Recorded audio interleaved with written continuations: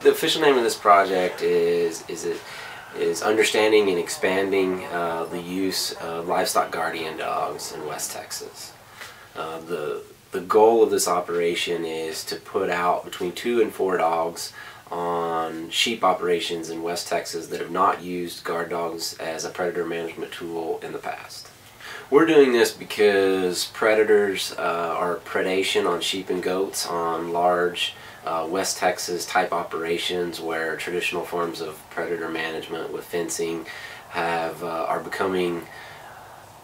I've got to a point where it's almost impossible to do all your predator management um, through traditional forms, so we're looking at new tools, and livestock guardian dogs is a tool that's been used in other countries and in the United States, but it has not been used uh, very much in West Texas before. So we want to investigate and work with our cooperators in this project to better understand how livestock guardian dogs work in large expansive pastures and throughout the year we're going to be putting GPS collars on the dogs so that we can track the dog's movement uh, throughout uh, throughout the day and night to see where they're going um, how they're working as a predator management tool most of the cooperators that we've talked to are having uh, good luck with the guard dogs they're they're not having any predator losses that they're aware of um, we are seeing a little bit of change in movement patterns of the predators. The long-term goal of this program is to build industry knowledge around guard dogs, both at the Research and Extension Center and our producer cooperators that are out there, so that